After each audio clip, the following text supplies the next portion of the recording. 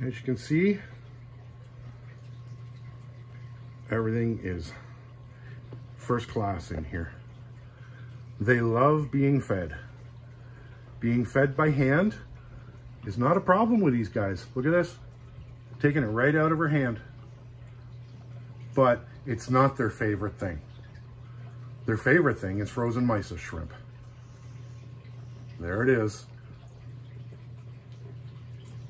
And you can see them going crazy for it, all of them. The blood shrimp coming out. Even he wants to get some.